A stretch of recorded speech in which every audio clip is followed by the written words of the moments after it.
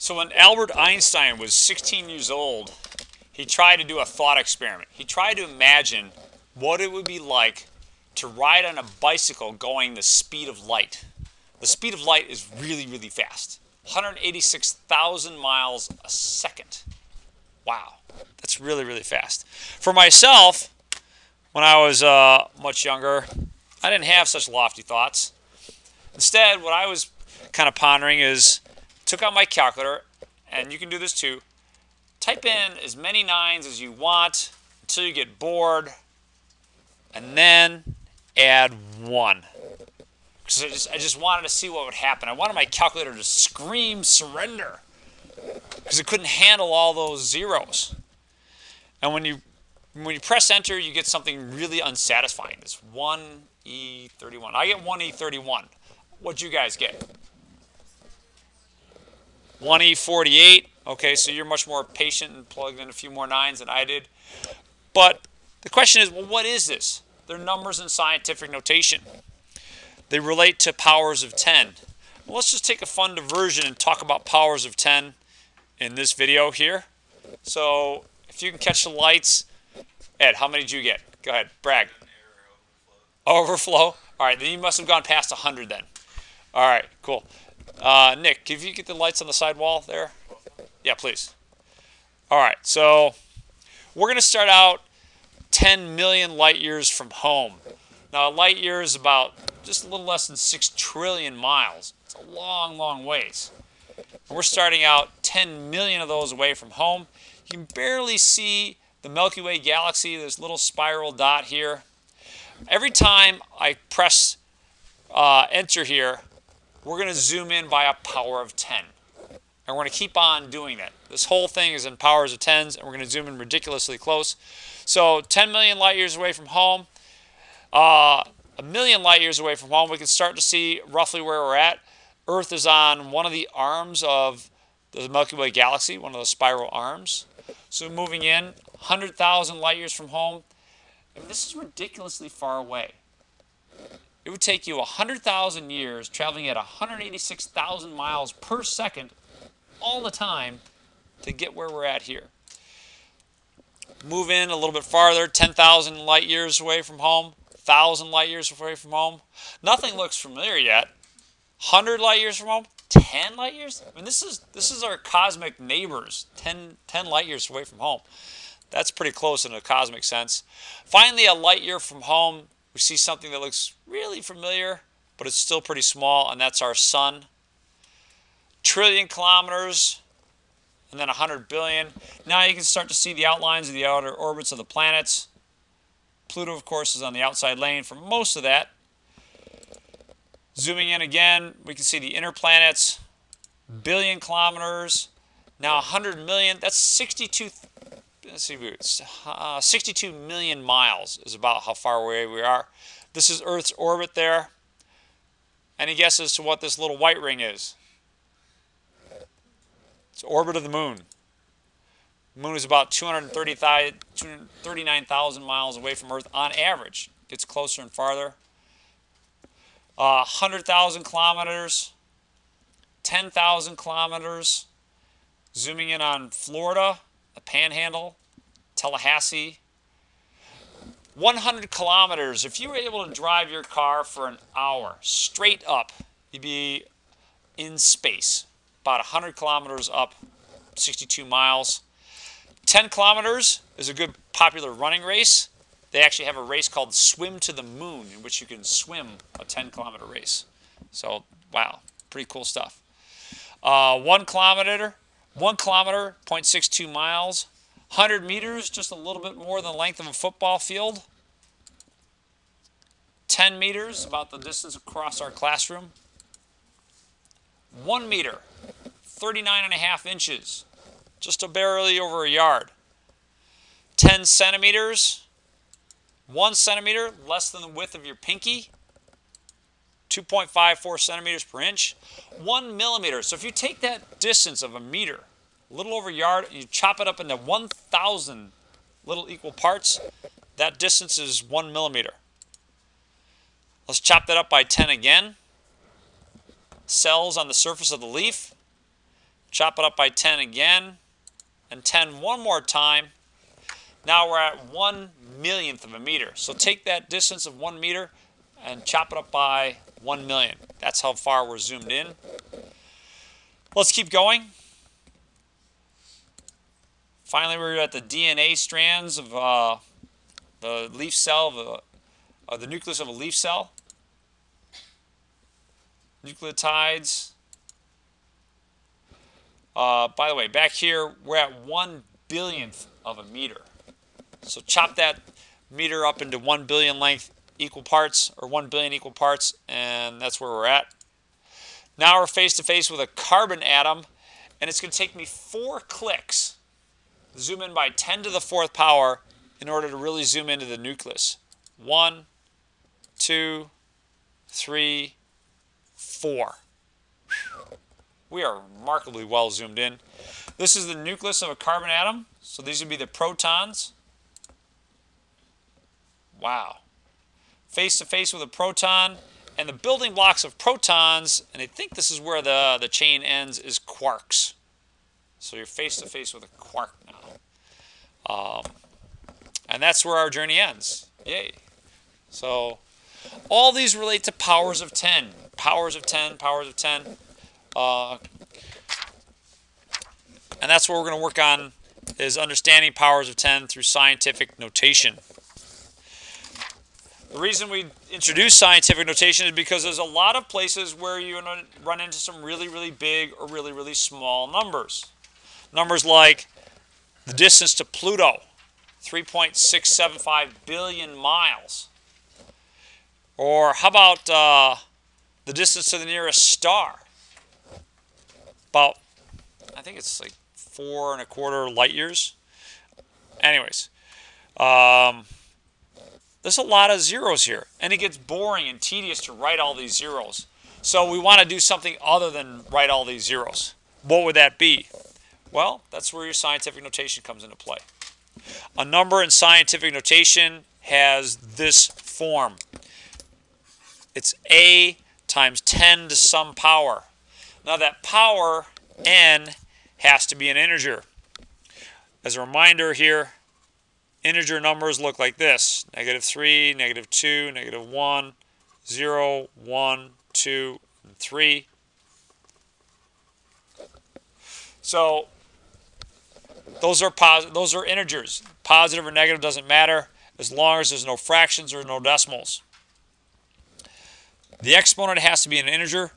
The number out front has to be a number between 1 and 10. Now the easy way that I can suggest to you to work with this number is to, to try, and, try and write a number that's between 1 and 10. Or in other words, it has one digit to the left of the decimal. So the number 9,600, I'm going to write it four different ways. A, B, C, and D. All these mean 9,600. But by the definition in the book and the definition in this course, only one of these is a number in scientific notation. Only one of them has the right form. Let's do it by voting. How many people think the first one's in scientific notation? How about the second one? How about the third one? Two, four, six, eight. I call it 10. How about the fourth one? Three. Let me add a fifth one here. Um, don't care. No takers on that one? Yeah, yeah. I was, I was, I was hoping no one would raise their hand, and I appreciate that you guys didn't raise your hand. Um, all right, don't know. Maybe choice F. Don't know. All right, and there's a one there. All right. Well, let's let's try and help that out then. Um, we're looking for a number here. This first part to the left of, you know, the times ten. That's between one and ten. So 960, well, that's not between 1 and 10. So that one's out. Is 96 between 1 and 10? No. How about 9.6? Is that between 1 and 10? Yes. 0.96, that's less than 1. So we throw that out. And this one we'll throw out just because you're trying to learn this stuff. So only one of these is in scientific notation. When I ask you on the test to write something in scientific notation, this one is what I'd expect. Not that these aren't equivalent to 9,600, they're just not in scientific notation. So how's that going to work in practice? Well, let's take a look at 47,500. This currently is in decimal notation. Our goal is to write it in scientific notation. So the decimal is understood to be here. Let's see how far we have to move it in order to get a number in scientific notation. So 1, 2. So now I'm at 4, 475. Is 475 between 1 and 10? No. Keep going. 47.5. Not far enough. There we go. 4.75. Now, how many places did I move it? I moved it a total of four places. So I'm going to compensate by multiplying by 10 to the fourth power. So 4.75 times 10 to the fourth power.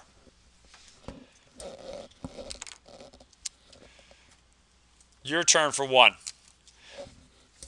186,000 miles per second, the speed of light. Decimals here. One thing to be careful of when you're putting a number in scientific notation, all we're doing is we're going to get rid of trailing zeros or leading zeros. Don't round these. Don't go 1.9 times 10 to the sum power. It's going to be 1.86 times 10 to a particular power.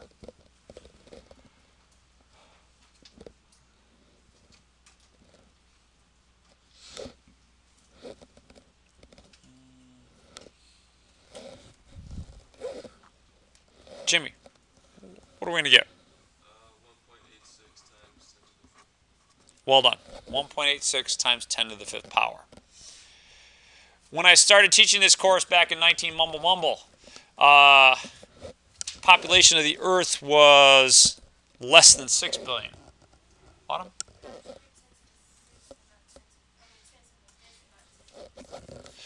Well, let's take a look uh, here.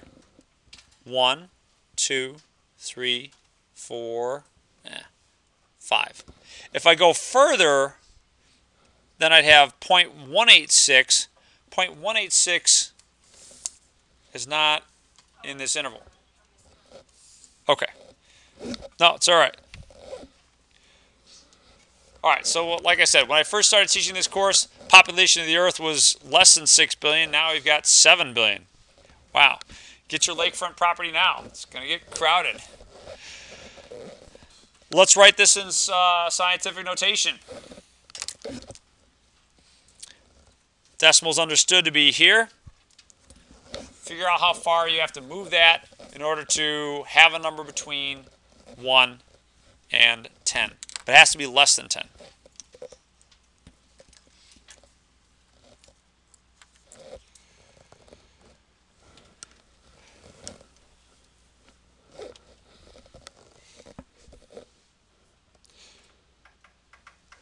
Rochelle, want to try that one?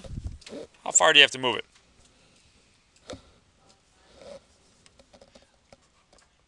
Good. So 7.373 times 10 to the ninth.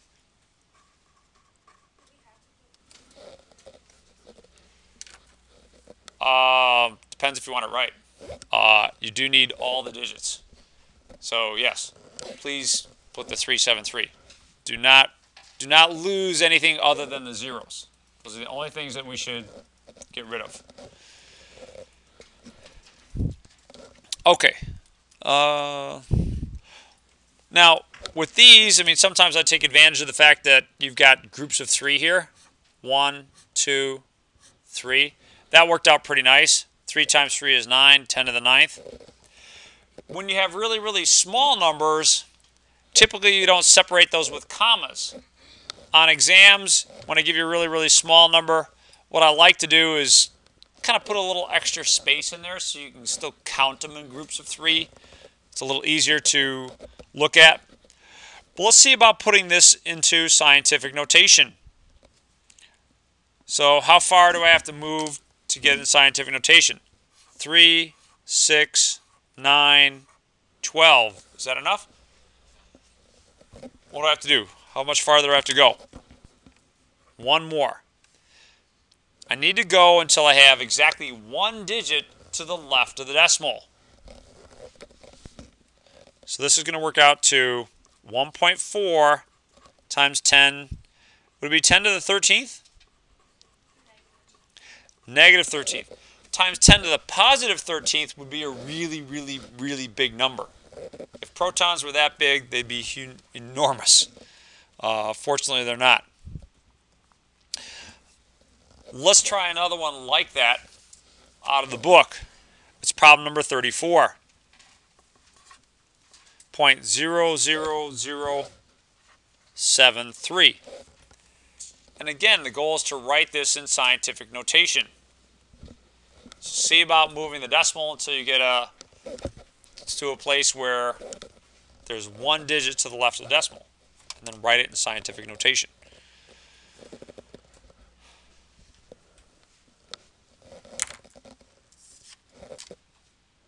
How far would you have to move the decimal in that case?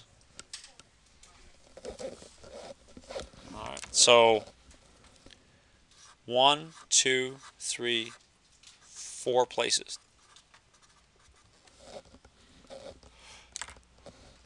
So Derek, in scientific notation, what would that look like then?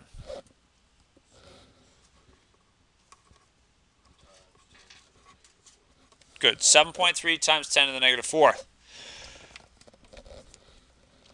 Let's take a look at these last two examples.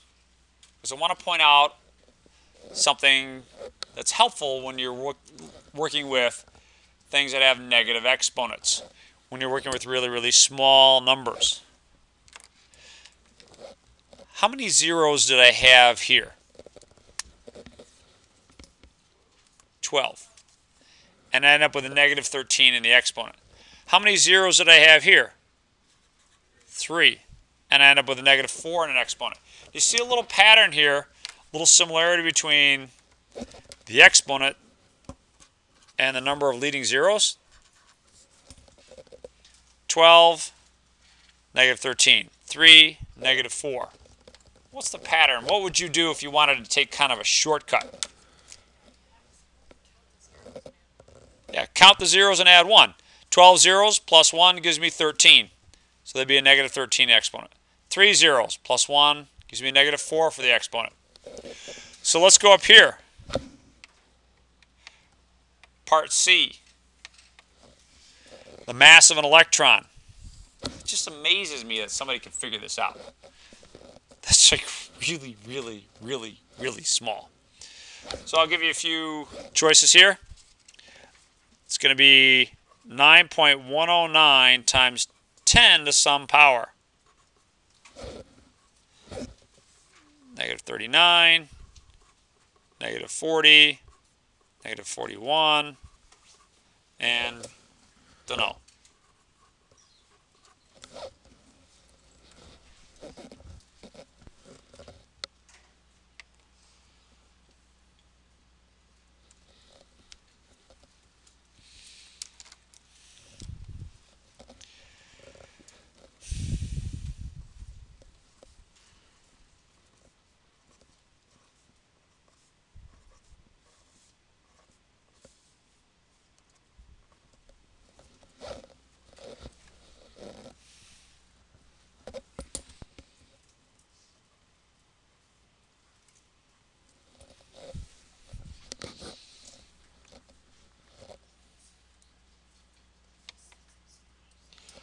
So I took a little bit of a shortcut here myself. Not sure if you guys did likewise. So maybe we should vote on again. How many say A? How many say B? All right. Wow, unanimous. Well done. We've got a total of 13 sets of 3. So 3 times 13 is 39. Add 1 to that. The exponent here should be negative 40. So well done. Oh, let's put in some units as well. Kilograms. Now this relationship is nice because we can also go backwards. There's a 40 here. That means there should be 39 leading zeros. Let's go down to the bottom here. Your chances of being struck by lightning. Of course, I think this is like a, a statewide average. Your chances of getting struck by lightning, I think, are highest in Florida. California might be high. Michigan's not so high. So various states to say, but let's just take this as an average. See if you can't write this in decimal notation. Let's go backwards. So it'd be like starting out with something like this and writing it in decimal notation. Go the other way.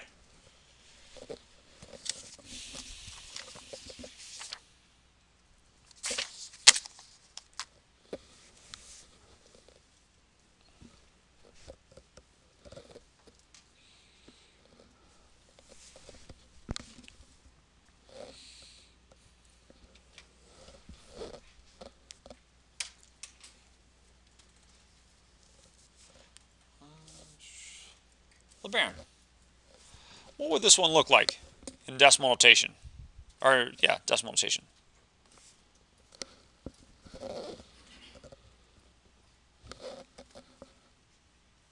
How many leading zeros am I going to have?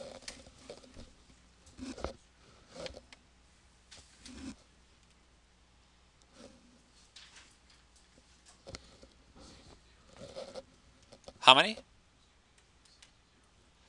No. That'd be a lot of zeros. Unfortunately, our chances are a little bit higher than that. Well, remember the relationship here, right? There's a thir negative 13 for the exponent meant 12 leading zeros. Negative 4 for the exponent meant 3 leading zeros. So the number of leading zeros is going to be, right, it's going to be 1 less than this. So 5 leading zeros, 1, 2, 3, 4, 5, and then we need to write the 167. Again, don't round these. Don't lose any significant figures there. All right, we're okay with that one. Um, let's take a quick look at this one. Going the other direction. Again, starting out in decimal notation and ending up with scientific notation. 1.14 times 10 to the eighth. Now times 10 to the eighth, is that going to make this a really, really big number or really, really small number? Big. So which way should I move the decimal? To the right or to the left? To the right. If I want to make this a big number, I'm going to move it to the right. So 1, 2. What am I going to do after this? I ran out of places. Zeros. I'd appreciate if you rewrite it don't leave it like this. some this hybrid answer. 114 million, and that distance would be miles.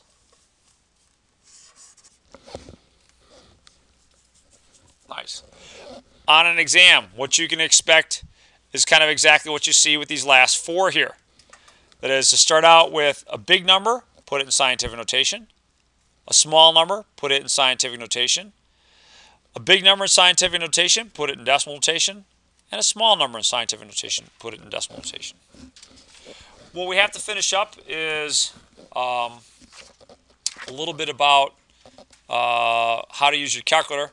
Before I get there, let me just kind of mention something by way of pop culture here for us. What's your favorite search engine on the internet? Google. All right. Everyone knows Google. Um, but what you might not know is where they got the name. Now, Google the search engine is spelled this way, but googol, the math term, means 1 times 10 to the 100th power.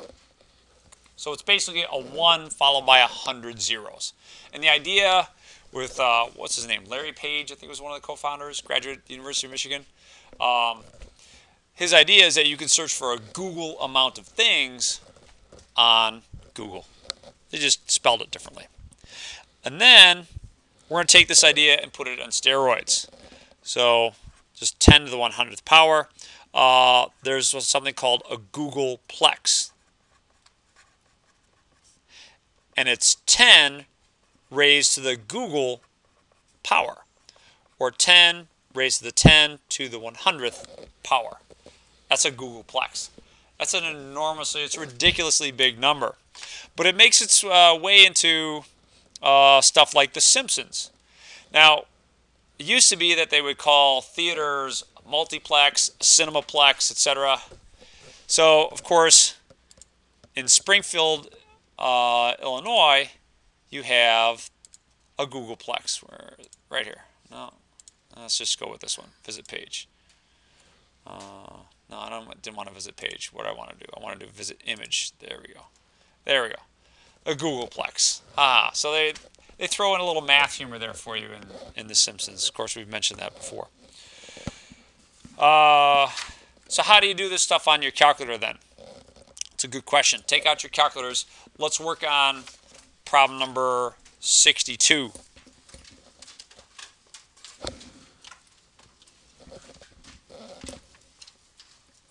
Four point one times ten to the negative third times three times ten to the fourth power. Now, if I was just doing this by hand, what I could do is this. I'd rewrite that as 4.1 times 3 times 10 to the negative third times 10 to the fourth. Just kind of reorder things because multiplication can be done in any order. Commutative is the fancy word there. 3 times 4.1 gives you 12.3. Help me out here. 10 to the negative third times 10 to the fourth power. What would that give me? 10 to the first. Thanks, Brian. 10 to the first. Important question here for you. Is that in scientific notation? No. I need to move the decimal one place to the left. So I get 1.23, and that means I'd have to add 1 to the exponent. So 1.23 times 10 squared. Take out your calculators. Let's see about doing it here.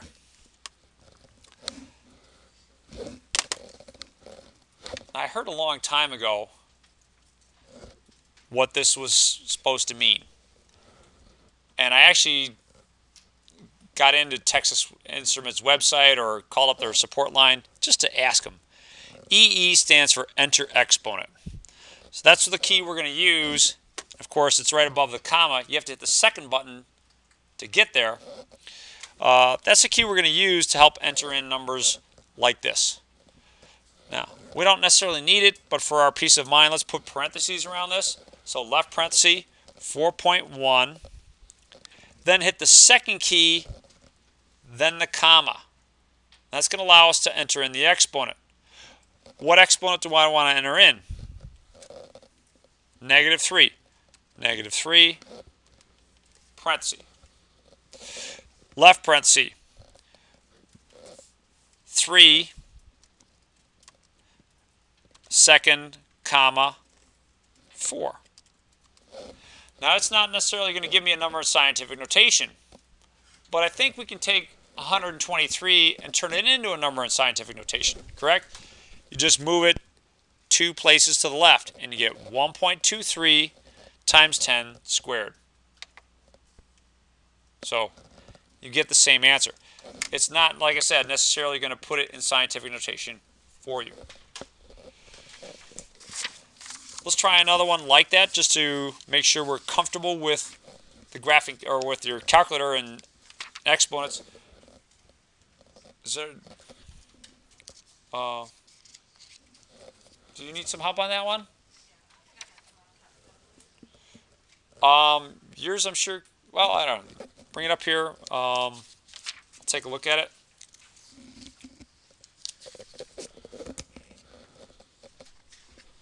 So, yeah, yours has it right here on the face. So you don't have to hit that at all. You can just do um, 3, and our exponent, say 4. And then that's it. Sure. Sure. Okay. Um, yours also has, well, I'm sure it has it someplace, but um, you want to throw down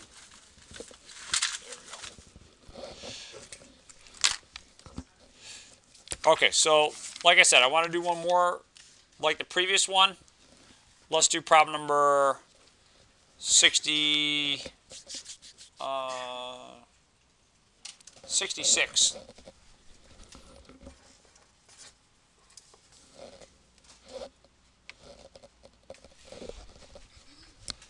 Two point four seven times ten to the fifth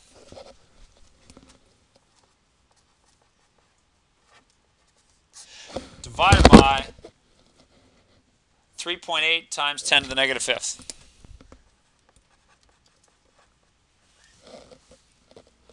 So again, it's, it's best and easiest if we put these into our graphing calculators or whatever scientific calculator that you have.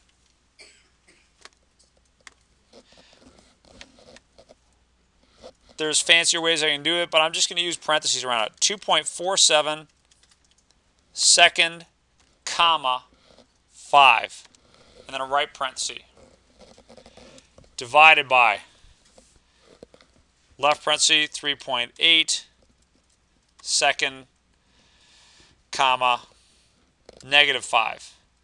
Now when you put that in that negative 5, make sure that you use the opposite key on the bottom of your calculator right here, not the subtraction key. You'll get an error if you try and use this to put in a negative 5 as an exponent. Now, it may not give me a number in scientific notation. It might just give me, you know, a big number in decimal notation. That's okay. Let's turn this into scientific notation. So we got to count how many zeros there are. Or actually, have how far we have to move it. One, two, three, four, five, six, seven, eight. I'm getting eight. Got nine? Take it. One, two, three, four, five, nine. Yeah, nine. All right, so 6.5 times 10 to the ninth be your final answer in scientific notation.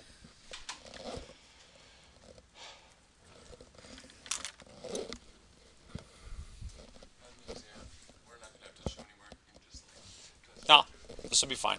I, kind of expect you guys to be able to do it on your calculators. So, yeah, there's not much work to show there.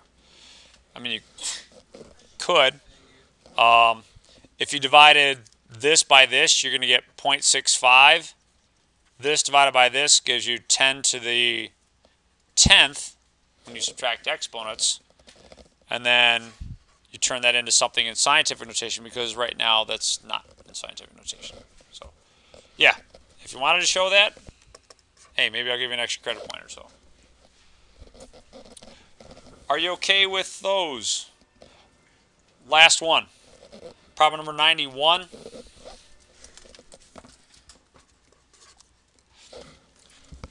A light year is given as 5.87 times 10 to the 12th miles.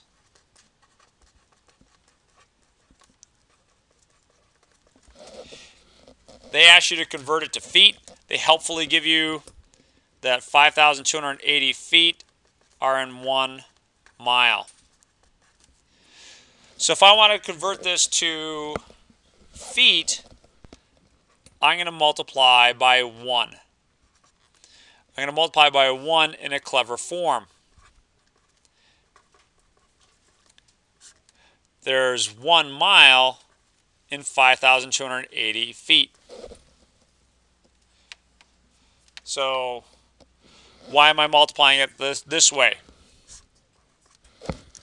Exactly. So that I'm getting these units to cancel. The units uh, of miles cancels. I'll be left with units of feet. So it really works out to 5.87 times 10 to the 12 times 5280. So plug that in your calculator and see what it gives you.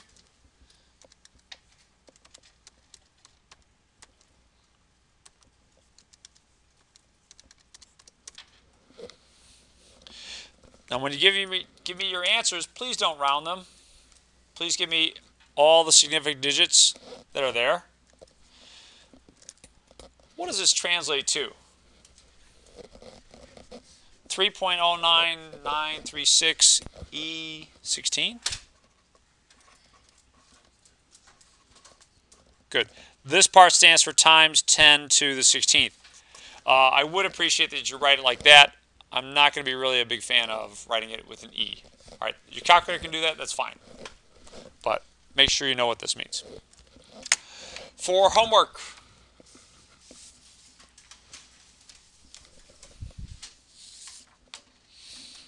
hmm. where did I put it?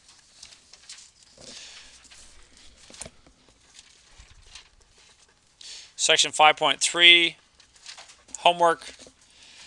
Try 13 through 23, 29 through 45, 51 through 57, and 61 through 75. See ya.